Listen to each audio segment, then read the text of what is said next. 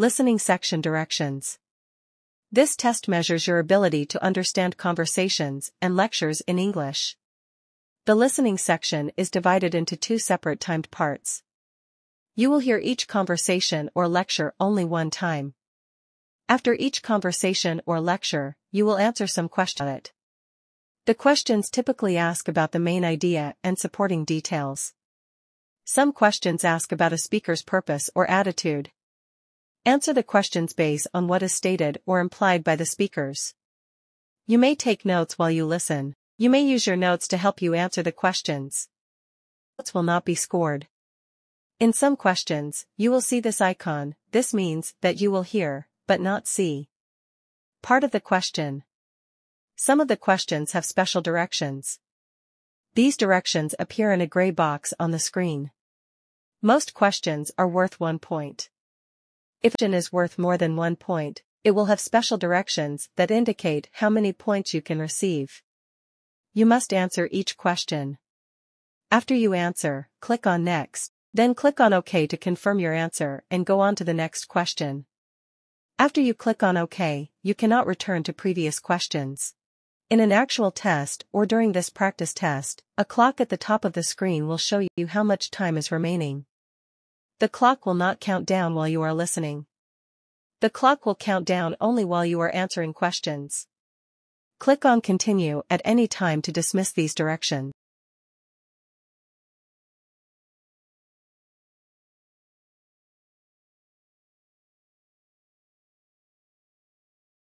Listen to a conversation between a student and a university administrator. Hi, I'm Namita. I had an appointment with you. Ah, yes, I remember. You're here to discuss your graduation requirements, correct? Yes, that's right. I've completed all my courses, and I'm ready to graduate. Excellent. Congratulations on reaching this milestone. The purpose of this meeting is to go over the administrative checklist before finalizing your graduation. I see. So, what exactly does the checklist entail? It's a routine process to ensure that all your university-related matters are in order. We need to make sure there are no outstanding fees or unresolved issues. I don't think I have any outstanding fees, but I did have a question about my student loans. Am I supposed to start repaying them immediately after graduation? No, you don't have to worry about loan repayment just yet. You will have a grace period before you need to start making payments. Focus on securing a job first. Good luck with your job search. Thank you. That's a relief. Now, about the checklist, is there anything else I need to address? Well, there seems to be a fine on your record for an overdue book from the library. It's a book titled The History of Modern Art. Oh, I remember borrowing that book for a research project. I returned it on time, though. I'm not sure why there's a fine.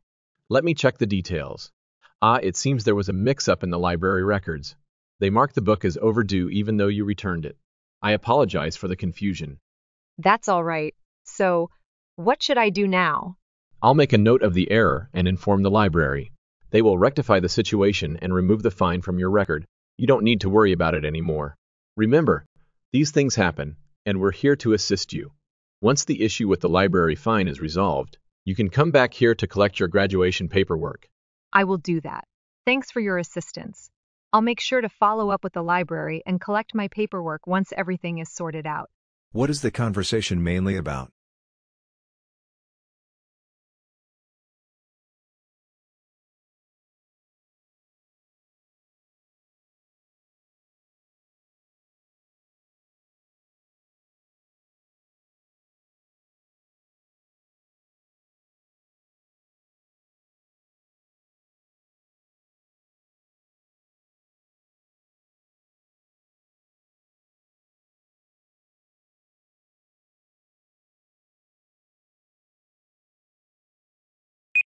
What issue is the student facing?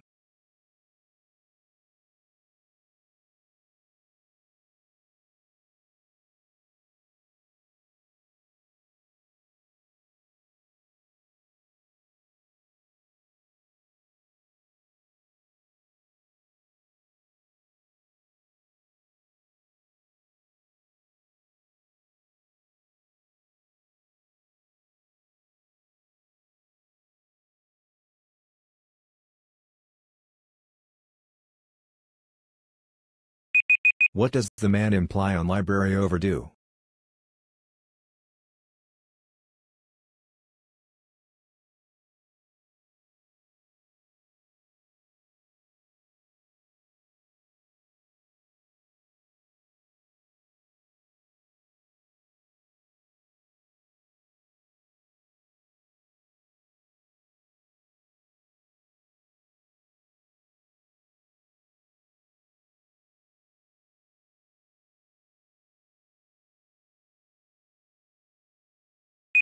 Why didn't the student get the library notice?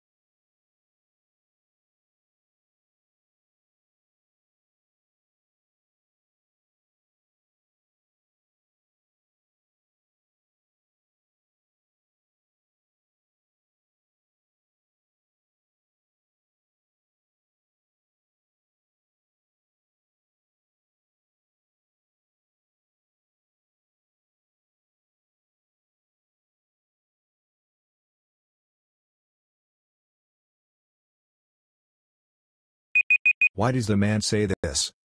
Ah, it seems there was a mix-up in the library records.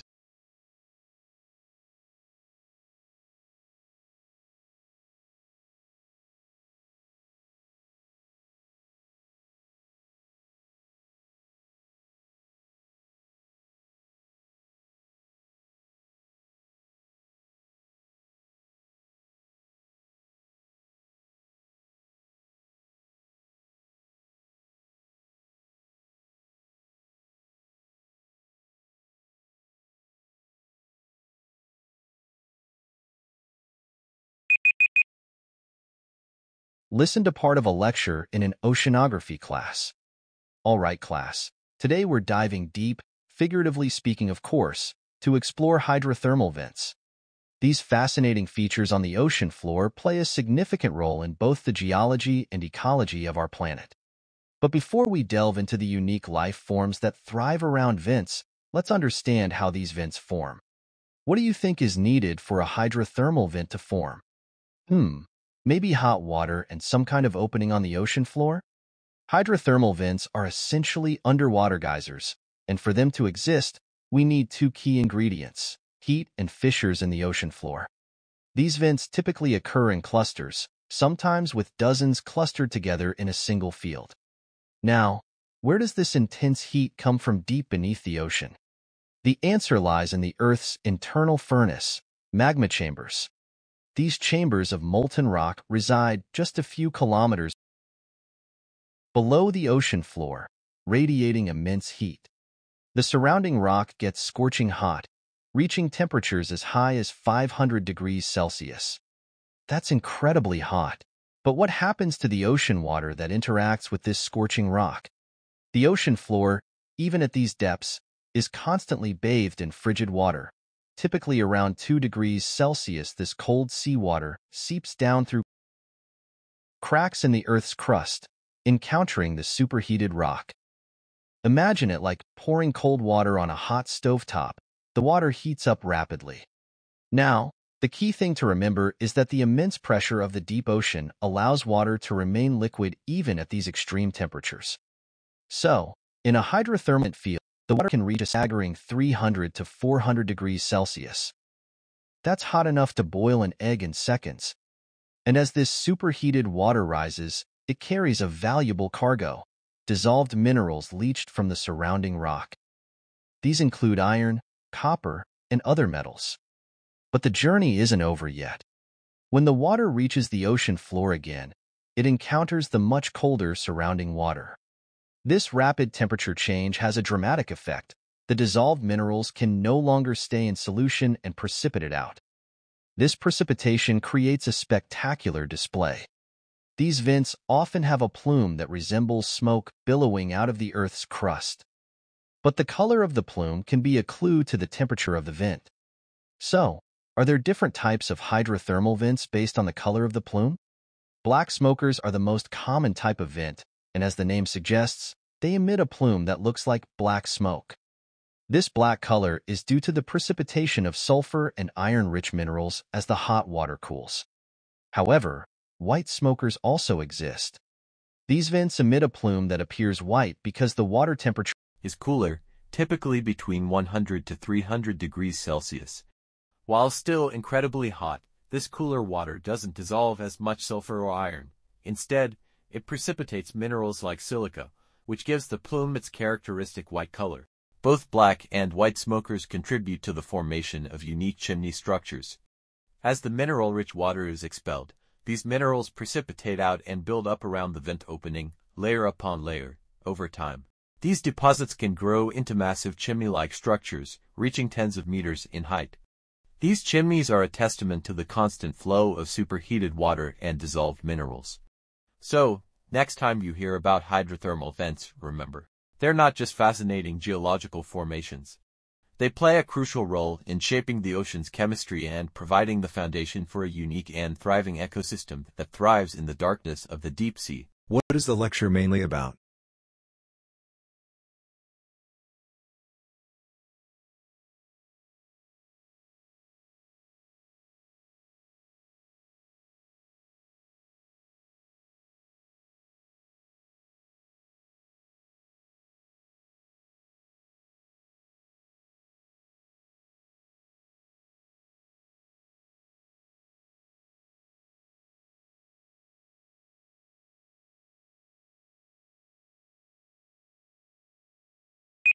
What's the key contrast between geysers and hydrothermal vents?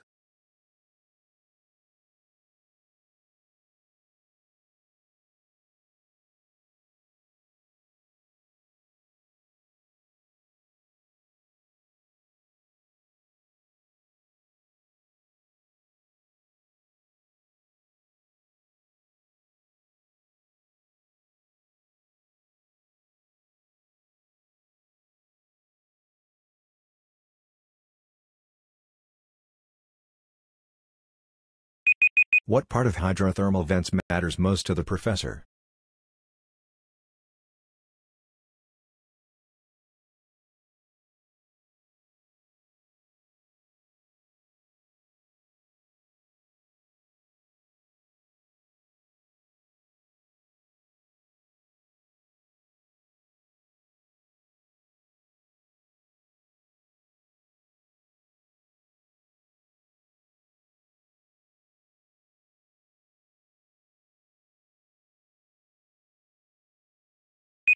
What factors lead to the formation of hydrothermal vents?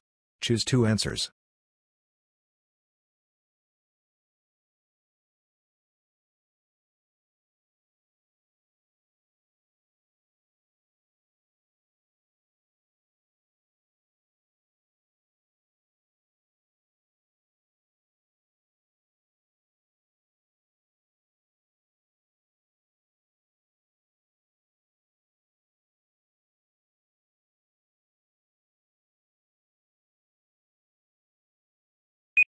What sets black smokers apart from white smokers?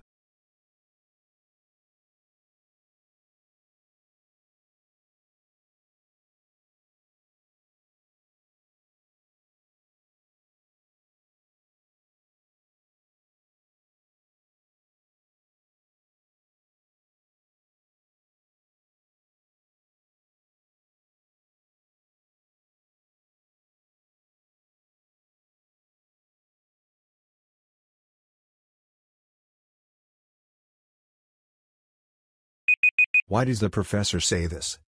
This can lead to a misleading perception of evolution as being directed towards larger sizes, while in reality, it is a random process.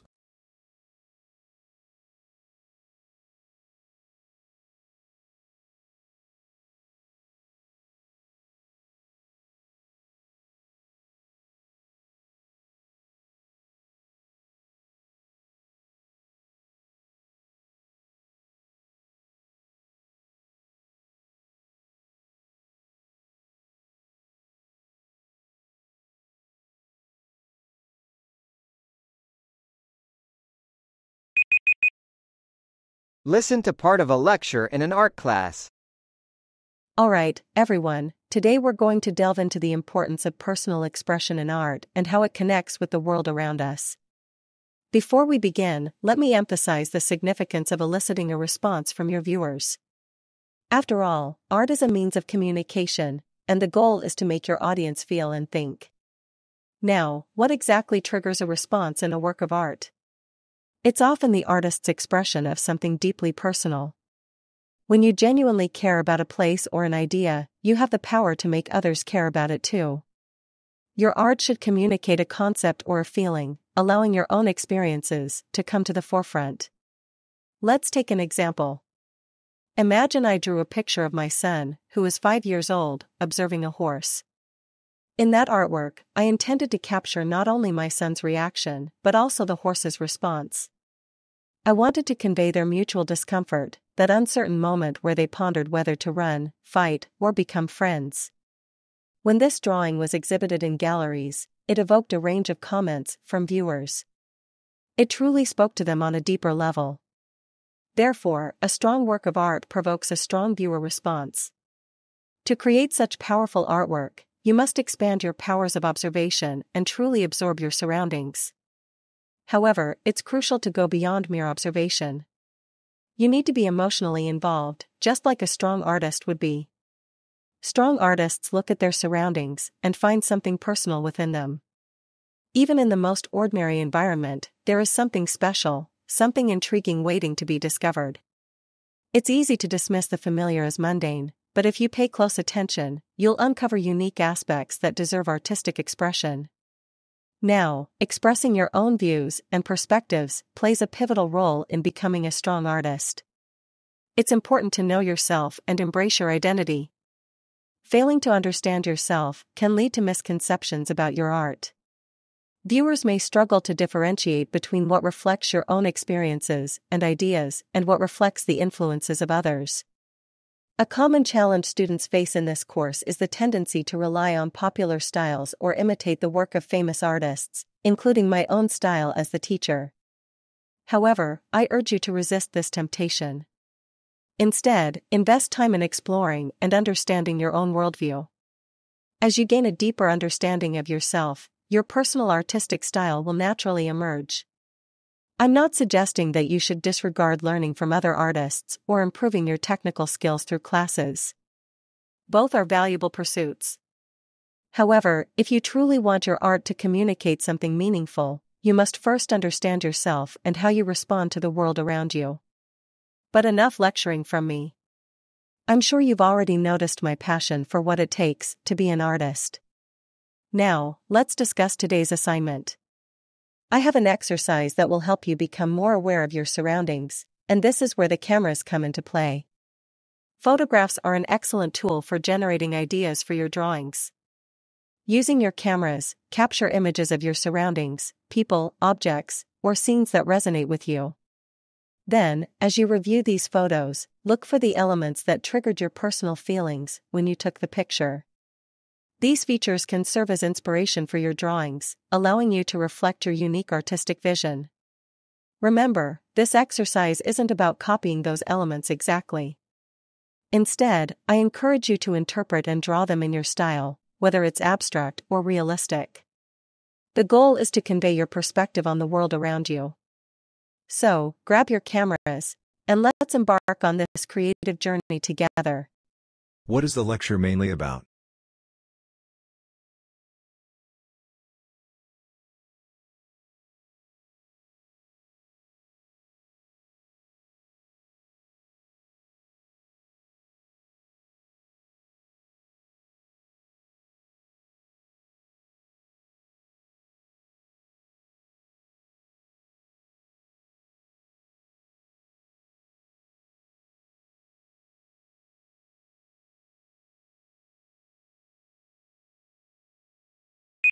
Why did the professor mention a sketch of his son?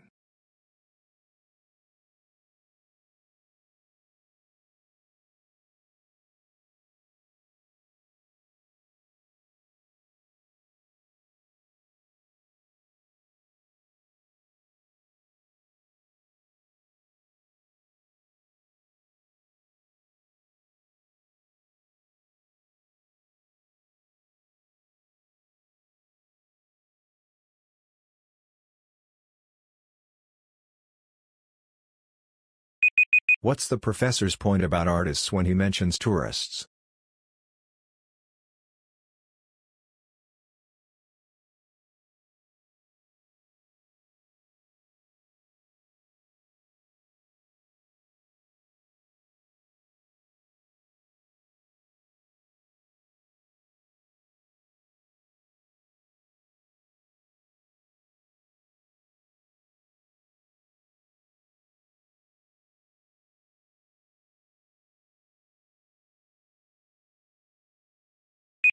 What does the professor urge his students to do to improve as artists?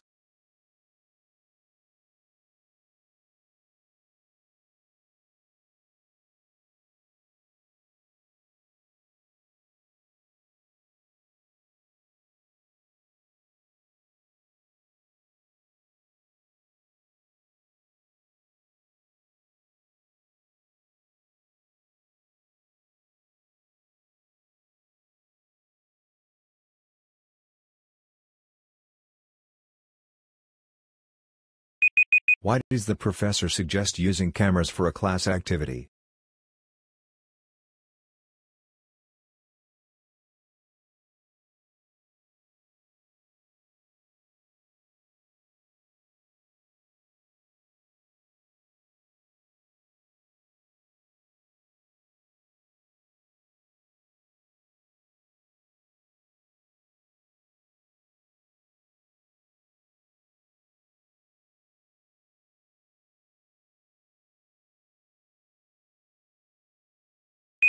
What does the professor mean when he says this?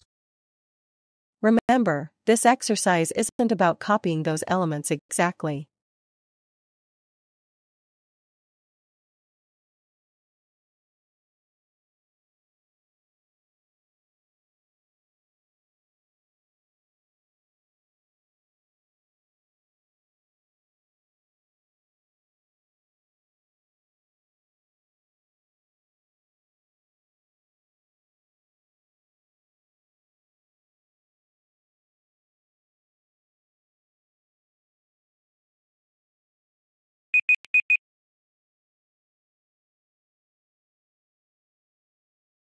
Listen to a conversation between a student and a professor. Professor, I just received my paper back from you. Is there something wrong with it? Actually, your paper is very well written. However, there is a major problem that we need to address. I see. What is the problem? The novel you focused on, Wide Sargasso Sea, is based on another novel called Jane Eyre. Why didn't you discuss Jane Eyre in your paper? Well, I haven't read Jane Eyre, but I believe Wide Sargasso Sea can stand on its own. I agree that Wide Sargasso Sea is a wonderful book by Jean Rhys, but if you are writing an academic paper, it's essential to acknowledge the influence of Jane Eyre. I'm not entirely convinced. Aren't all books influenced by other books? It's challenging to draw a definitive line. In this case, it's not just about subtle influences. Jean Rhys directly based her book on Jane Eyre, which is a widely recognized and influential novel. But Jean Rhys didn't merely rewrite Jane Eyre, did she? If you had read Jane Eyre, you would know that Rhys reinvented it by writing from the perspective of a secondary character, Antoinette. In Jane Eyre, Antoinette is a minor character. Would Rhys have written Wide Sargasso Sea if Jane Eyre didn't exist? I'm not sure. I noticed many parallels between Antoinette and Jean Rhys herself. They both have West Indian origins and later moved to England. Perhaps Rhys would have written a similar book regardless. Then why didn't Rhys base Antoinette solely on her own life? Why did she use a character created by someone else? Additionally, isn't the setting significant? Jane Eyre takes place in England, while Wide Sargasso Sea is primarily set in Jamaica. I understand your point now. I wish I had discussed this with you before starting my paper. I worked hard, and my schedule is tight. I schedule conferences for a reason. Your paper is good and thoughtful. You make original points. I believe if you read Jane Eyre, you could write something exceptional. At least consider it. I appreciate your advice, Professor. However, reading another book and rewriting the paper seems daunting. I'm not sure if I have any creativity left. I understand your concerns, but I believe you can produce something truly remarkable. Take some time to think it over. What are the speakers mainly discussing?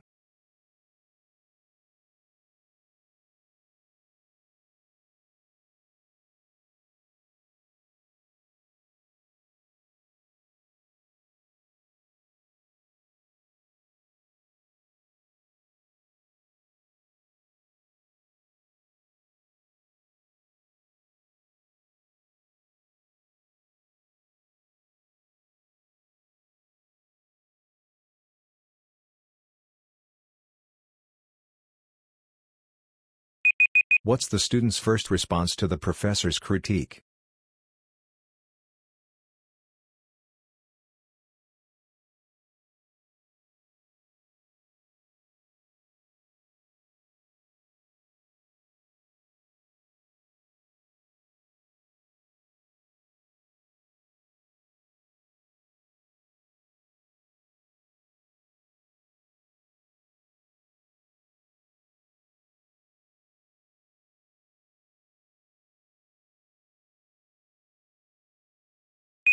What key aspect about the main character Antoinette did the professor feel was overlooked in the wide Sargasso Sea?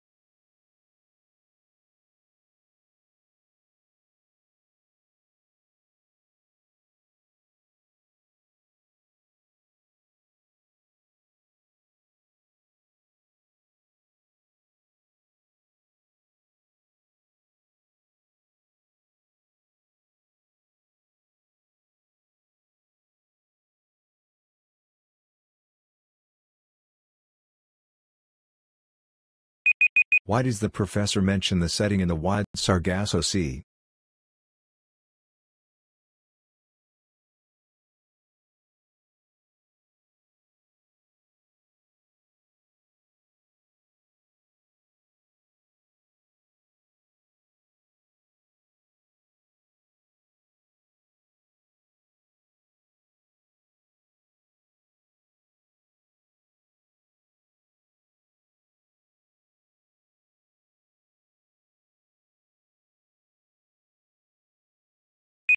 What does the man suggest about revising his paper?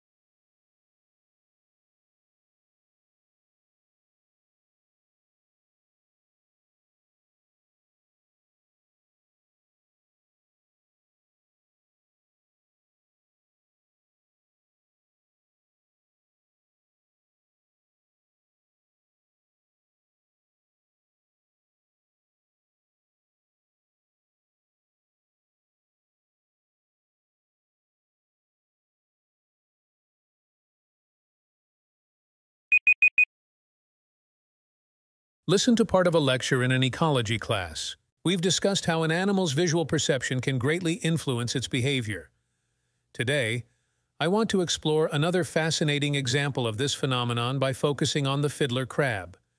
But before we delve into that, can anyone remind us of some differences in animal visual perception? Yes, Sarah. Well, last time we talked about insects with compound eyes, where each eye sees multiple images of an object. Excellent point, Sarah. Now, let's shift our attention to the fiddler crab, which also possesses compound eyes. The fiddler crab has been extensively studied due to its correlation between perception and behavior. It is an easily observable creature, residing in mudflats and having a confined territory with minimal movement. When you look at the fiddler crab, you'll notice that its eyes are situated on stalks that extend vertically. This unique positioning provides the crab with a panoramic visual field. Let me demonstrate. As you can see, the fiddler crab has a 360-degree field of vision. The tip of each eye stalk consists of thousands of tiny eyes, similar to compound vision in certain insects. An intriguing aspect is that the crab's visual acuity is highest at the periphery of its visual field. This makes sense when you consider that the edges of its vision are where other crabs, potential rivals or mates, are likely to be found. However, even the sharpest part of the crab's visual field isn't particularly clear. It's comparable to looking at a newspaper and seeing a blurry white object with a few black spots. Are you following so far? Now, let's turn our attention to another critical aspect of visual perception for animals' predator detection. For fiddler crabs, their primary predators are often birds, and interestingly, the central focus of the crab's vision is the sky. Surprisingly, the center of the crab's visual field is even blurrier than the edges. But that seems counterintuitive. If the center of their vision is so blurry, how can they defend themselves? Couldn't they mistake anything in the air for a bird? Excellent question, Mary. We must remember to view this from the crab's perspective rather than our own. Due to the overall blurriness, the fiddler crab's worldview is quite simple. It assumes that everything in the sky is a potential predator, while everything on the ground is a fellow crab. This basic distinction is crucial for its survival. Thus, what may be a disadvantage to us, blurry vision actually aids the crab in simplifying its response to visual stimuli. But how can we be certain about this? Researchers have conducted experiments to validate this hypothesis. For instance, they placed a cylinder on a mudflat inhabited by fiddler crabs. The crabs interacted with the object as if it were another crab fighting it, ignoring it, or even considering it as a potential mate. However, when the same cylinder was thrown into the air above the mud flats, all the crabs immediately sought refuge in their burrows. This demonstrates how the crab's behavior is influenced by its vision. An object on the ground, regardless of its identity, is perceived as another crab when it falls within the peripheral visual field. However, the same object seen in the air, at the center of their vision, is perceived as non-crab-like and potentially dangerous. This example underscores the profound impact of visual perception on an animal's behavior. It reminds us that when studying animal behavior, we must consider their unique sensory perspectives rather than imposing our own biases. Understanding the interplay between perception and behavior in different species allows us to gain deeper insights into the diversity of life on Earth and appreciate the remarkable adaptations that have evolved over time. What is the lecture mainly about?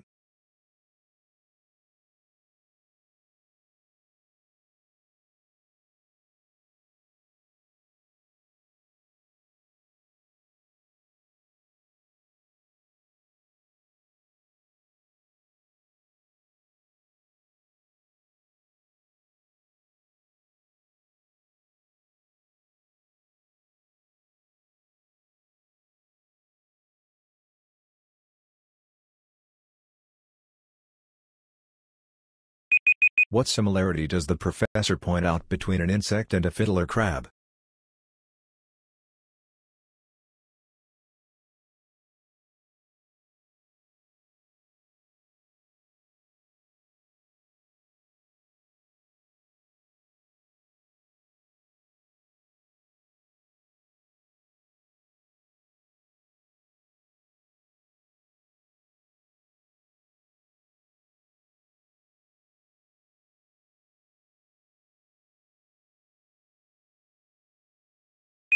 What characteristic of the fiddler crab did the professor mention as easily observable?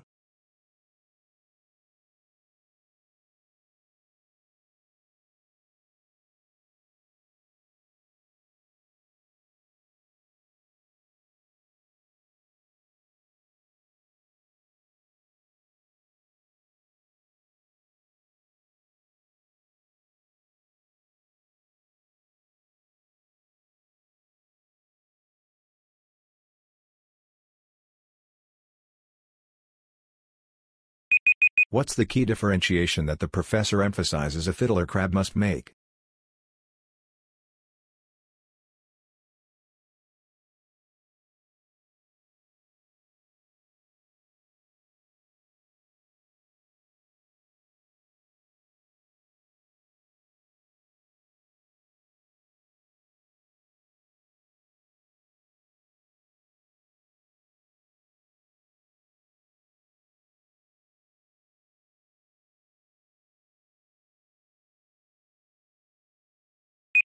What would a fiddler crab do if a ball was thrown into the sky above it?